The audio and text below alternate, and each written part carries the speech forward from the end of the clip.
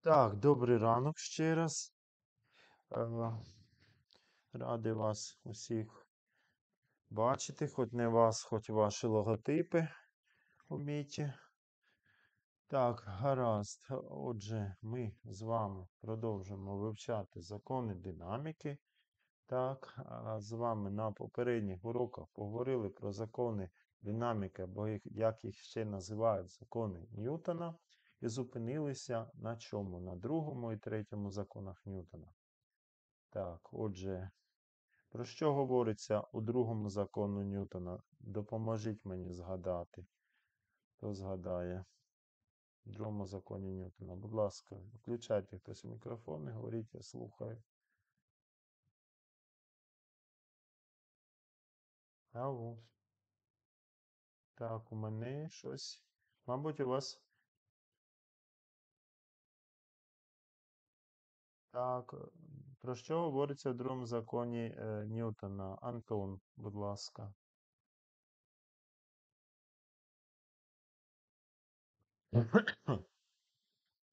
Антон не готовий сьогодні до уроку.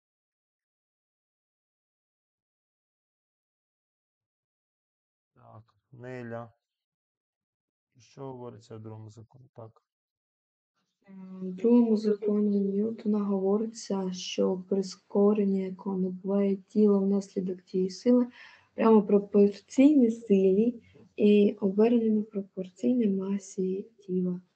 Так, тобто, якщо у нас сила 1 ньютон надає прискорення, скажімо, 1 метр за секунду у квадраті, то сила 2 ньютона е, цьому самому тілу дасть удвічі більше прискорення.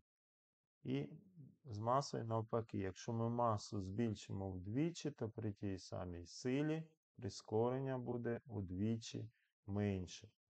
Так, і а, це зрозуміло, тому що а, якщо тіло має масу, всі тіла мають масу, так, то воно має таку властивість, як інертність. Інертність це властивість тіл зберігати свою, свій стан свого руху. Тобто, якщо тіло не рухалось, то воно і продовжує не рухатися. Якщо хоче продовжувати, хоче в лапках продовжувати не рухатися. Якщо воно рухалось з певною швидкістю вздовж певної в якомусь напрямку, то воно намагається продовжити так само рухатись цією самою швидкістю в цьому самому напрямку. Оце в цьому полягає явище інерції. Так, і е, яка, скажімо так, е, пояснюється тим, що для того, щоб у тіла змінити цей стан руху, тобто поміняти рух тіла, не можна миттєво, треба якийсь час. І якщо тіло має більшу інертність, тобто більшу масу, то поміняти його рух треба більший час. Тобто е, прискорення, отже, буде Ми вас не чуємо. Не чуєте, да? Так, стоп. Не чуєте. Зараз відправляю.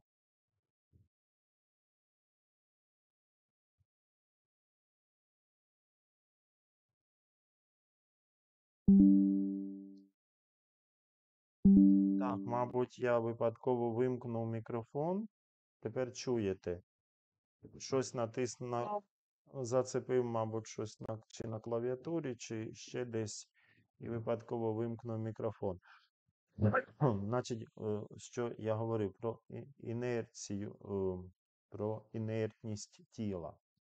Тобто, як тіло має певну е, інертність, чим більш ця інертність, міра інер... мірою інертності є маса, чим більша маса, тим більша інертність. Так?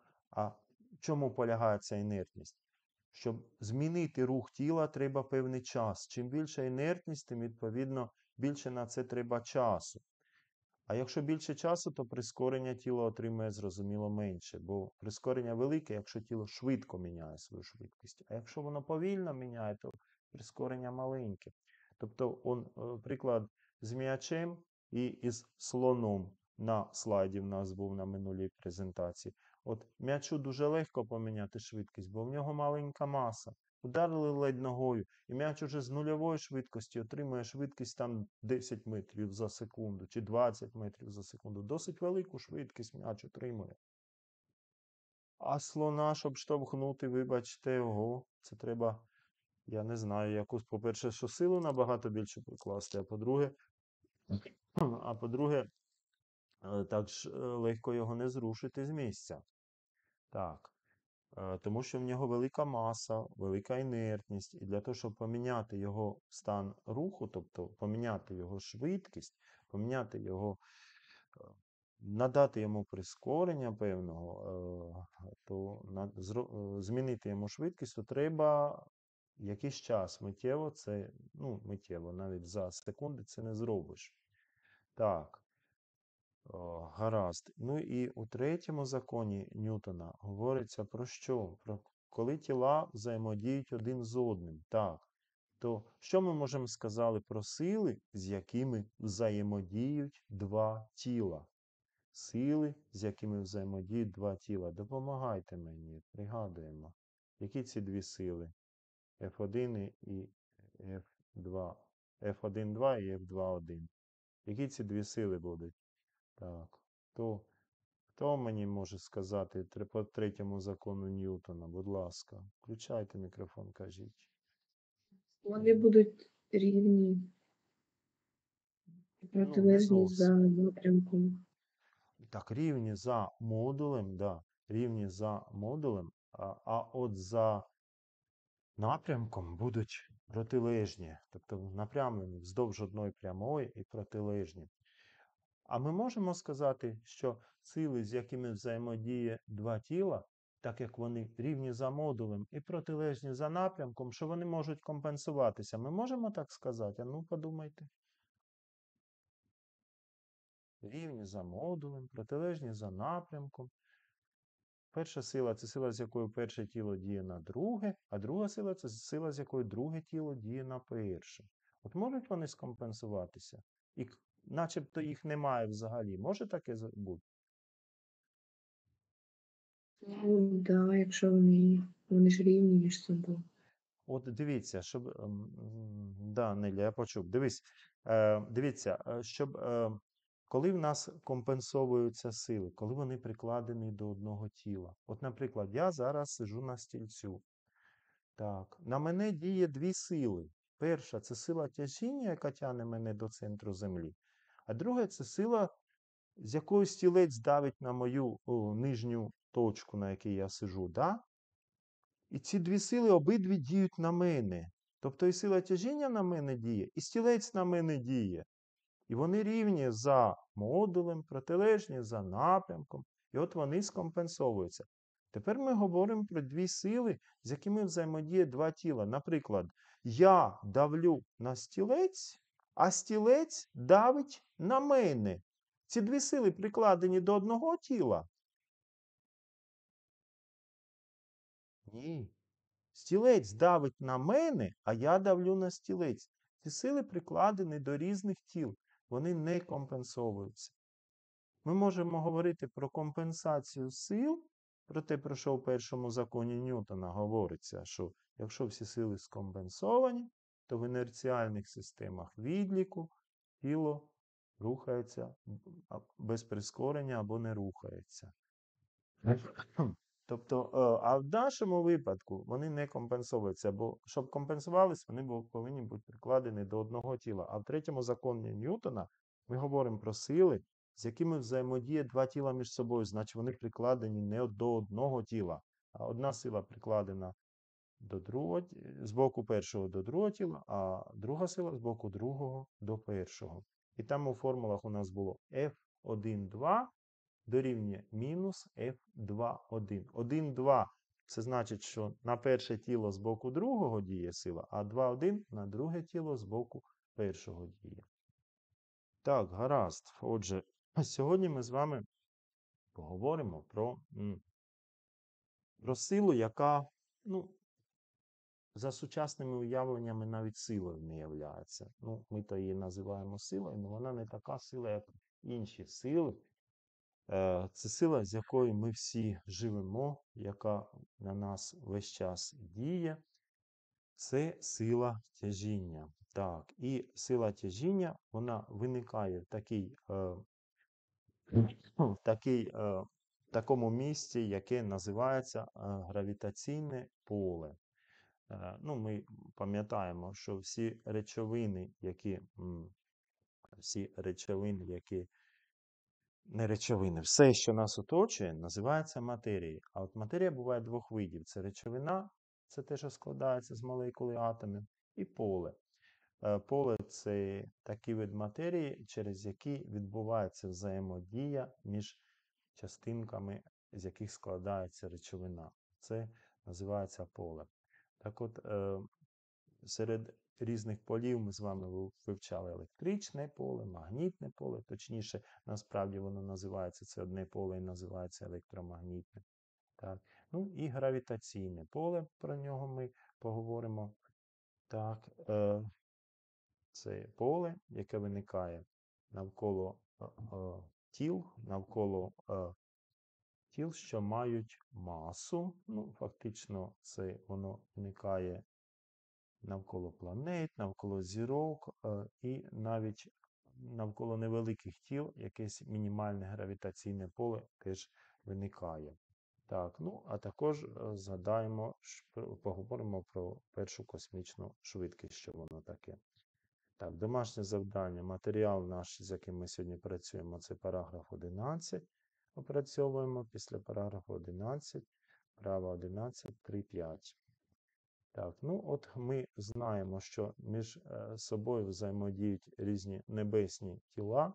До небесних тіл ми відносимо, перш за все, це планети і зірки. Так? І безліч ще інших небесних тіл існує, крім зірок і планет. Наприклад, зірки і планети складають е, зоряні системи, зоряні системи об'єднуються, складають галактики. Ну, Це вже такі структурні одиниці.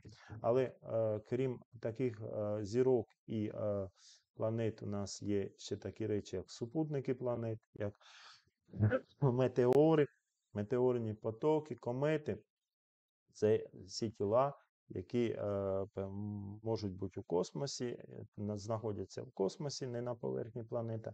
Ми їх називаємо все небесними тілами. Так от, е, вони рухаються по певних траєкторіях, по певних законах, які люди досить давно вже вивчили, спостерігаючи за рухом небесних тіл. І ще такі вчені давні, як Кеплер і Ньютон, порахували навіть, за якими законами вони рухаються, і Ньютон встановив, що вони так рухаються через те, що притягуються між собою. Оце ми поговоримо про це на сьогоднішньому уроці.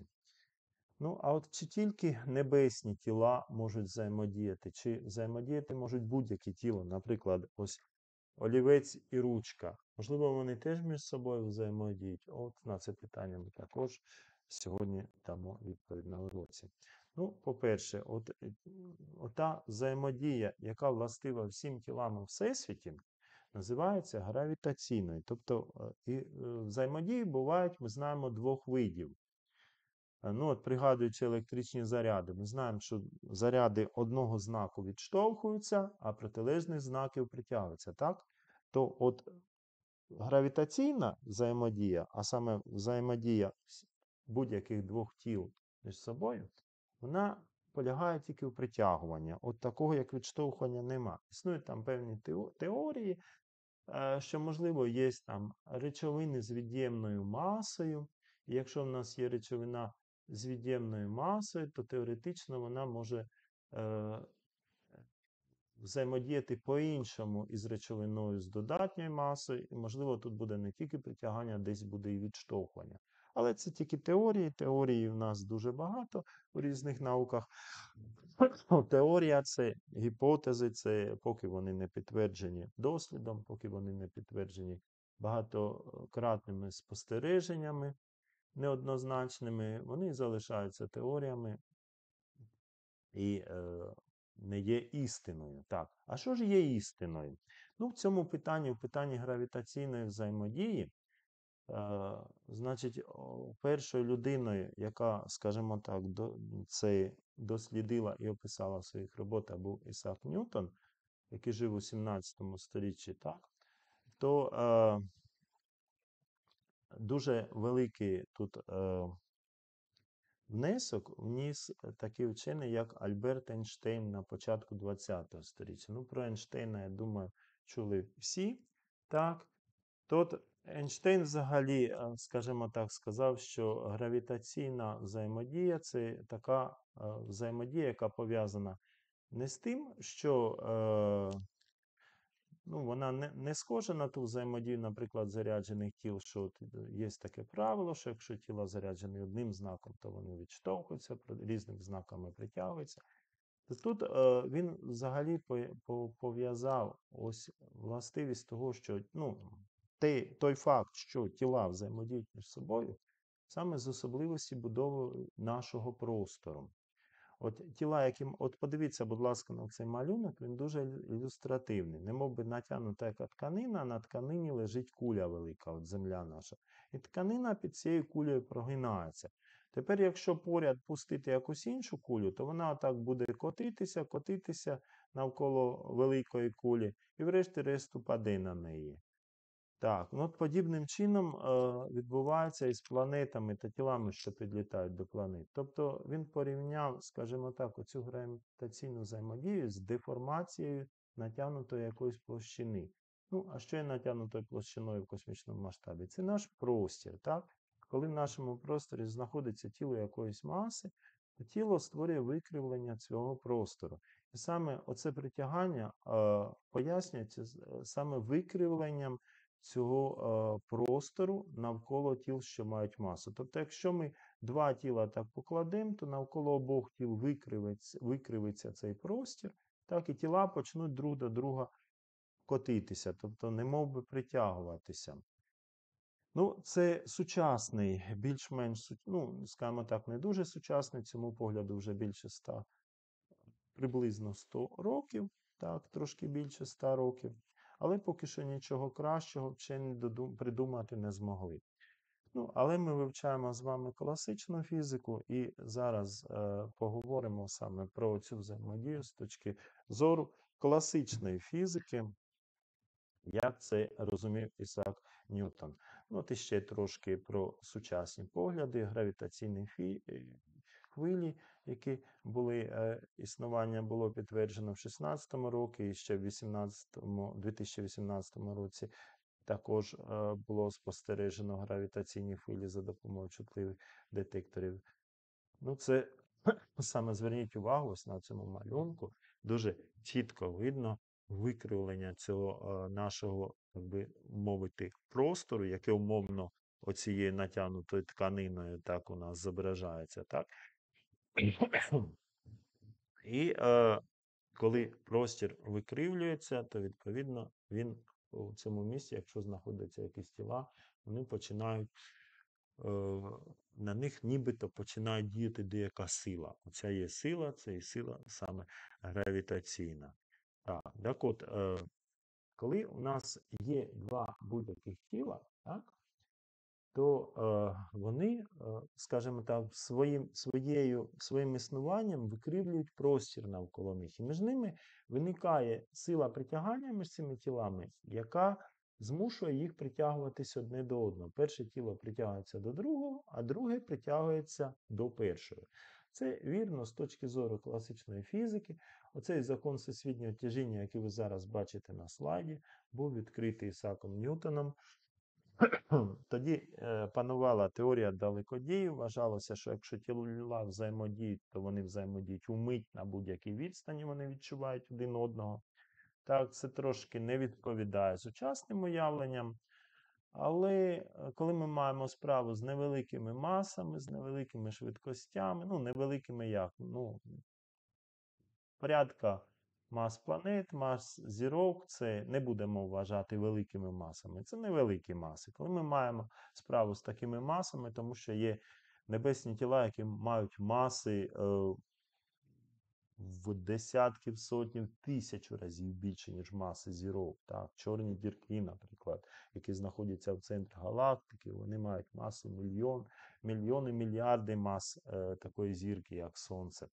Так, так от, коли ми маємо справу з такими невеликими умовно масами, то е, силу, з якою ці два тіла притягаються, до речі, ця сила і F1, і F2, за третім законом Ньютона за, модулю, за модулем повинна бути одинаковою.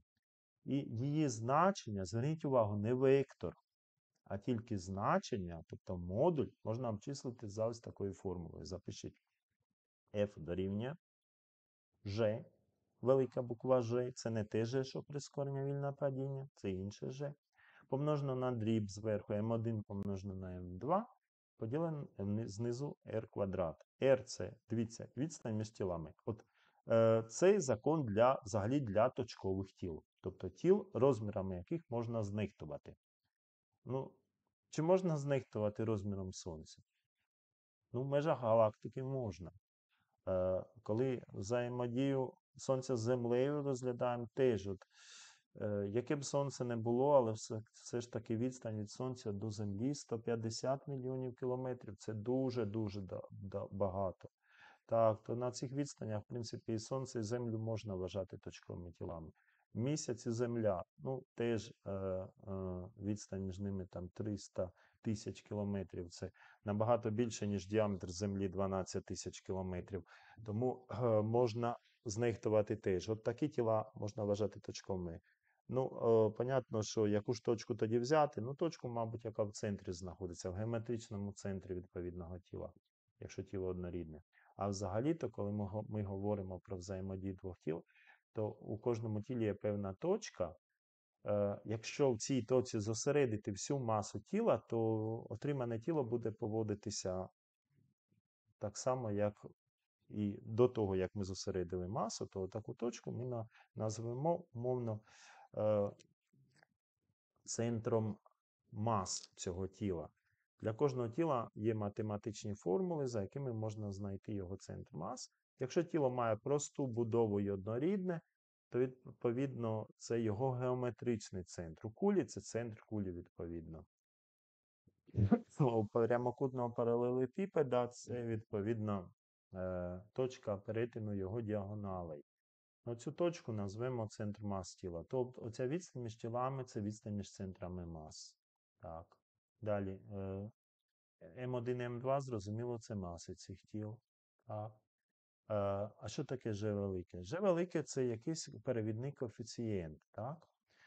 Е, Для того, щоб наші ось отут кілограми, отут метри узгодились отут з ньютонами, е, але узгодились, врахувавши ну, реальну взаємодію. От оцю величину треба було якимось чином знайти. І через 100 років після того, як Ісак Ньютон відкрив цей закон, цю величину знайшов Генрі Кавендіш, англійський, ще один англійський фізик і хімік. От саме в фізиці він відомий за те, що знайшов цю величину, а точніше, він не цю величину знайшов, цю величину розрахували трошки пізніше. Він визначив масу Землі. Тобто він е, використав е, певний пристрій, який називається крутильні терези. Там далі, е, я, по-моєму, на слайді вони є, подивимося. Так, і за допомогою цих дуже чутливого цього пристрою знайшов масу Землі. Ну, а вже маючи отаку формулу, дивіться, знаючи, от тіло знаходиться в Землі, певної маси тіло є у нас, радіус Землі ми знаємо. Так, Е, Тобто масу землі Камендіш знайшов, от підставляємо масу нашого тіла, е, підставляємо масу землі, тут радіус землі у квадраті. Сила, з якої притягується, це сила тяжіння, ми її можемо обчислити як маса тіла помножена на g. І відповідно G велике ми можемо таким чином знайти. Отже, коли Камендіш знайшов масу землі, то буквально незадовго після цього інший вчений визначив оцю величину. Е, Ця величина називається гравітаційна стала. В 1798 році е, Камендіш проводив свій дослід. Ну і невдовзі після цього визначили цю величину. Гравітаційна стала. Вона така досить маленька, бачите? Тому, от якщо ми маємо тіла е, масами по 1 кг на відстані в 1 метр, то сила взаємодії буде ось така 6,67 на 10 у мінус 11 степені ньютонів. Тобто дуже мала. Тобто її фактично на відстані 1 метр ми виз- для таких тіл по 1 кг ми і не визначимо. Але ж дивіться, все ж таки, хоч і маленьке значення, але навіть на той час, кінець 18 століття, навіть тоді можна було його визначити, були вже достатньо чутливі прилади. Е, Пристрій, яким Кавендіш визначав, теж не його винахід, ще до нього один із е, учених його відкрив, але е, дослід і зробив, але дослід провести і визначити так він і не зумів. Там йому смерть завадила, а Кавендіш, е, який разом з ним працював, відповідно, вдосконалив цей пристрій, трохи пізніше зробив цей дослід і визначив таким чином масу Землі. От заключається пристрій, є така е, таке коромисло, таке коромисло, на кінцях якого висять невеличкі кульки з свинцю. Да? Е, І коромисло знаходиться на пружній ниці. Тобто, якщо його трошки закрутити, то воно розкручується назад, його повертає. Щоб вимірювати кут закручення, от можна використати, наприклад, промінь світла. Пускається тут на дзеркало, відскакує він на шкалу, і по шкалі він бігає, в залежності від того, на який кут повернеться оце коромисло, е, значить, відповідно, промінь перейде на певну поділку. Так? А біля цих маленьких кульок помістили дуже масивні свинцеві кулі. Відстані між центрами куль були відомі. Так, е, після того, як помістили великі кулі, значить, е, коромисло трошки закрутилося на певний кут. За допомогою цього, цієї шкали визначили цей кут. Е, Для такого кута, відповідно, було відомо, яка сила подіяла на наше коромисло. І знаючи цю силу, відповідно, вдалося знайти е, оце співвідношення між масами тіл, що взаємодіють відстанями між ними, та між силою взаємодії. І е, знаючи це відповідне співвідношення, таким чином Кавендіш виміряв густину, скажімо так, середню густину нашої планети. Е, Ну, а відповідно, знаючи густину, можна було визначити і масу нашої планети. А знаючи масу планети, можна було визначити і гравітаційну сталу. Так, е, отже, будь-які два тіла, будь-які два тіла, вони вже, якщо вони є, то вони вже притягуються. Ми повинні це розуміти. Але через те, що ця велика G дуже маленька, то оце притягання стає помітним тоді, коли одне з цих сил досить масивне. Досить масивне, ну, з масою, так, яка обчислюється там 20-значним числом, хоча б скажемо, так як маса планети. Так? Ну, от якщо ми в дану формулу, формулу всесвітнього тяжіння підставимо масу Землі, так, в якості R ми підставимо е, суму радіуса Землі і висоти, на якій знаходиться тіло над землею, то ми можемо отримати формулу для сили тяжіння. Формула сили тяжіння. Зверніть увагу, в формулі для сили тяжіння обов'язково є маса тіла, яке притягується до землі. Бо сила тяжіння це така цікава сила, вона е, по-різному діє на тіла різних мас, що дуже цікаво. От якщо тіло має масу 1 кг, то сила має одне значення. Якщо тіло має вдвічі більшу масу, то відповідно і сила тяжіння буде вдвічі більша. Так? Тобто сила тяжіння прямо пропорційна до маси тіла, на яке вона діє. Ну, от сила тяжіння це сила гравітаційна оця сила, це сила всесвітнього тяжіння, але обов'язкова умова одним із взаємодіючих тіл має бути планета. Так? Тобто силою тяжіння ми називаємо силу, з якою Земля, наша планета, або інше астрономічне тіло, якщо ми силу тяжіння на ньому шукаємо, притягує до себе всі тіла біля її поверхні.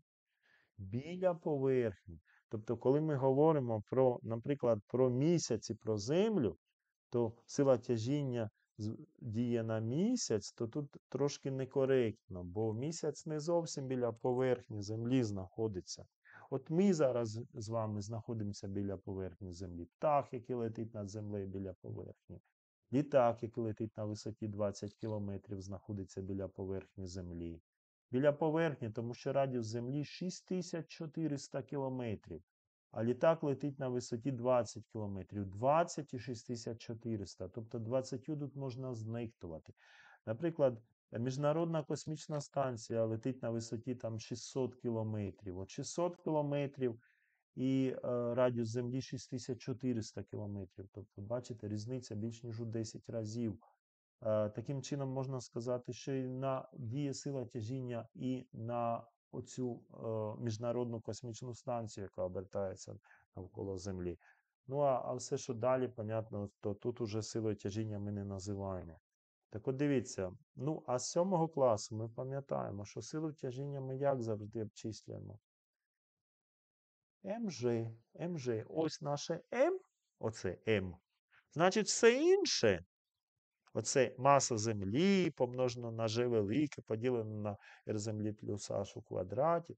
Оце вже маленьке, відповідно. Прискорення вільного падіння. От, ми ж знаємо, що прискорення вільного падіння це сила тяжіння поділена на масу.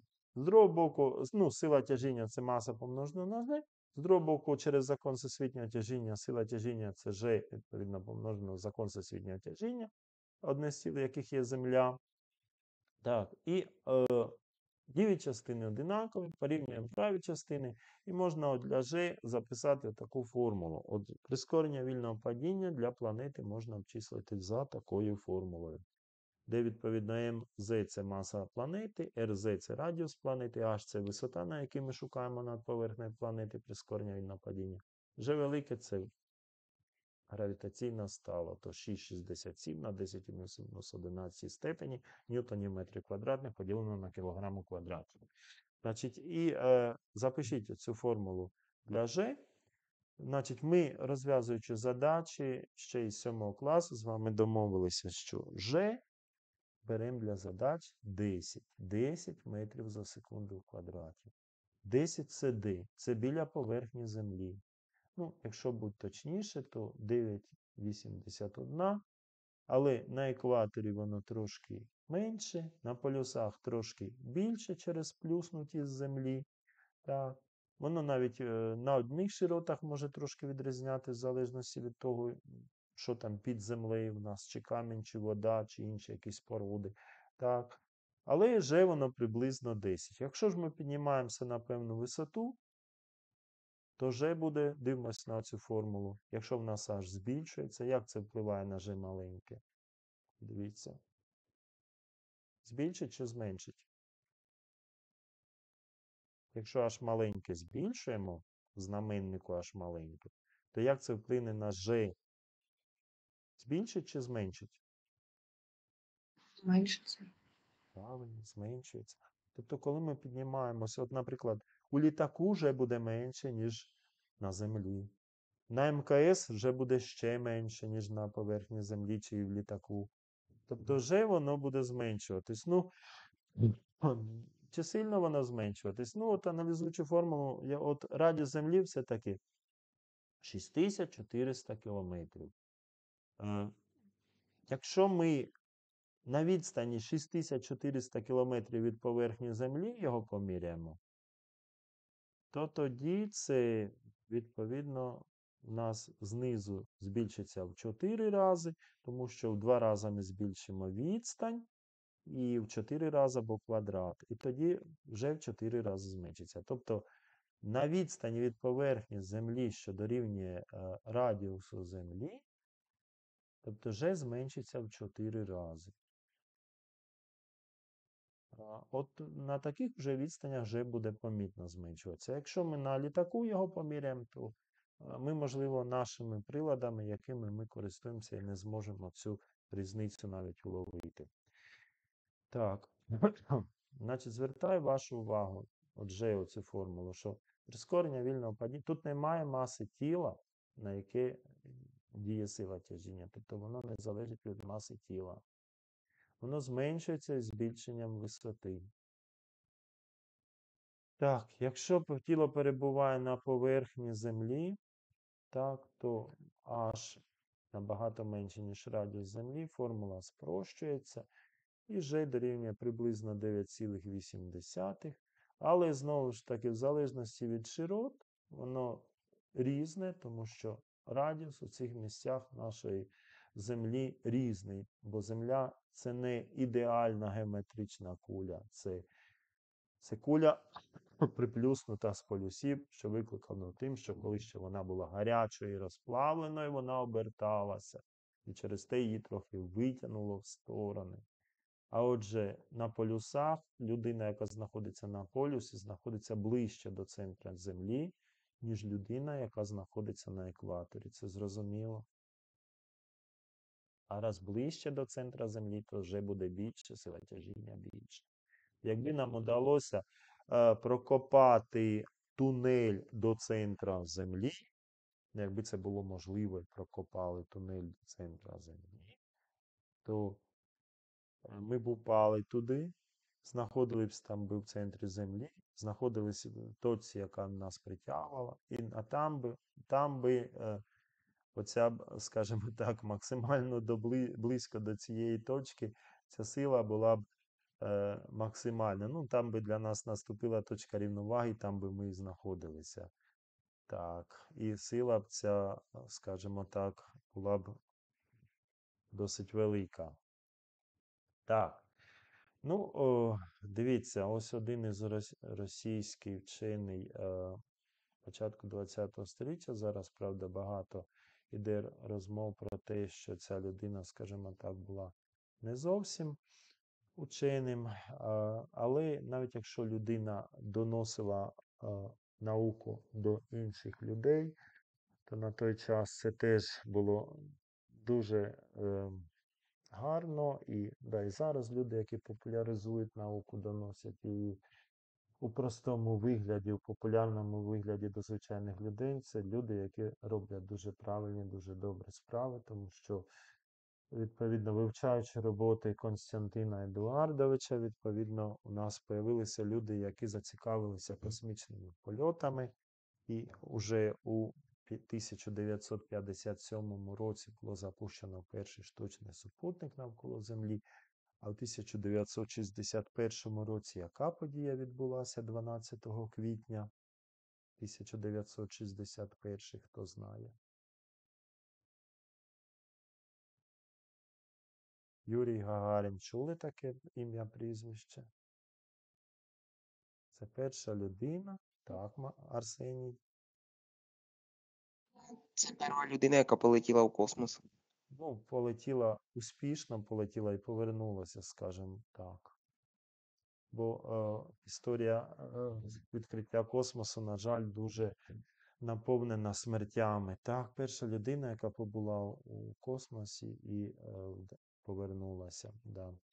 Так, і зараз е, космічна галузь навіть е, не дивлячись на те, що поки що ми не літаємо на інші планети і нема в нас там своїх колоній, але ті досягнення і та техніка, яка знаходиться навколо Землі на орбітах, вивчає нашу галактику, це дуже великий крок вперед. Ми користуємося зараз інтернетом, можемо по всій землі користуватися завдяки супутникам, які там рухаються.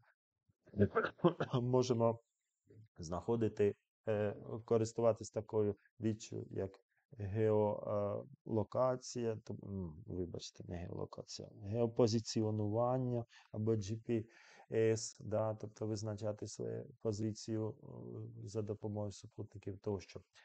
Так, тобто дослідження космічної галузі, ну, за ним майбутнє, але за ним і теперішнє. Це дуже важлива така галузь.